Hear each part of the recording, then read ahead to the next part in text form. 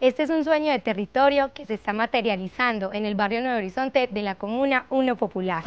La educación es la herramienta para transformar vidas.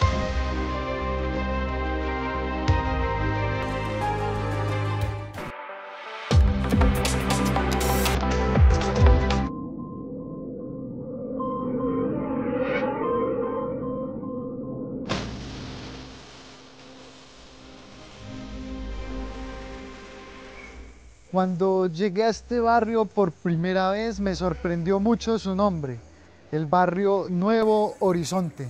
Y al llegar acá me encontré con testimonios de una ciudadanía que aclamaba el desarrollo y los proyectos urbanísticos que le habían prometido. Fue así como empecé a generar un proceso de territorialización, de reterritorialización, de apropiación de este territorio, encontrando un montón de opciones para desarrollarlo. De esta manera, identificamos la sede en Nuevo Horizonte, un colegio que estaba totalmente abandonado y empezamos a tejer un sueño, construir una universidad en el corazón de la comuna más pobre del distrito para que desde acá este espacio funja como un pulmón que nos permita oxigenar la tierra para hacerla fértil y sembrar semillas que se enraicen con objetivos de vida que se puedan cumplir. Por eso este proyecto es tan importante y al tener una universidad en este barrio vamos a construir ese nuevo horizonte para todos sus habitantes. Este es uno de los grandes resultados de la gestión territorial. La Comuna 1 Popular le ha apostado a la educación superior porque a través de esta podremos mejorar la calidad de vida de muchos de sus habitantes. Las instituciones locales se han unido para poder lograr eso. Y a partir de este proceso, muchos jóvenes podrán tener la educación superior mucho más cerca a sus casas, generando que tengan mucha más acreditación y sobre todo que puedan mejorar su calidad de vida a partir de eso. Es que acá la gente es muy emprendedora. Desde el trabajo territorial y comunitario, Farley Macías en cabeza de Lazo Comunal y yo como edil logramos con los líderes poder sacar adelante este proyecto que ayudará a muchísimos jóvenes de nuestra Comuna 1 Popular. Este proyecto lo empezamos a construir desde hace aproximadamente cinco años, cuando yo era presidente de la Asociación de Juntas de Acción Comunal.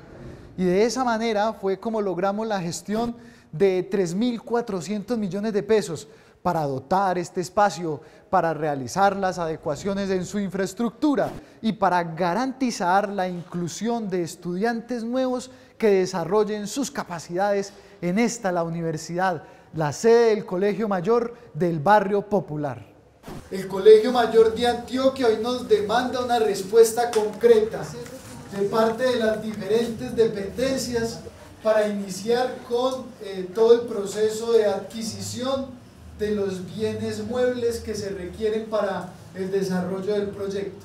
La idea es proporcionar espacios con calidad y en cumplimiento de normas técnicas para habilitar locaciones que permitan la implementación y los servicios educativos en términos de aulas, salas de sistemas, espacios complementarios. La intención que se tiene con este proyecto es acercarnos más a la comunidad educativa y proyectarles no solamente eh, la básica, la educación básica, sino también la universitaria. Este es el resultado de un trabajo de comunidad. Por ende, nuestro mensaje es que en toda la ciudad de Medellín, cada comuna haga este proceso y que juntos podamos tener la ciudad que todos queremos.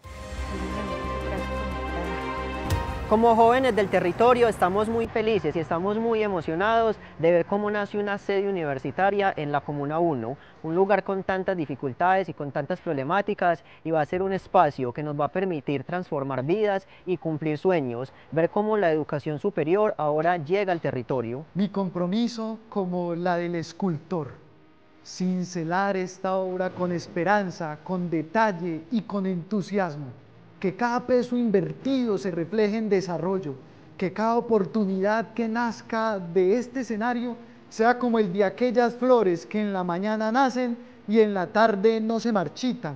Esta será una gran oportunidad y estaré aquí resguardando los intereses de la ciudadanía y proyectando esta como la mayor obra de desarrollo de la zona nororiental de Medellín.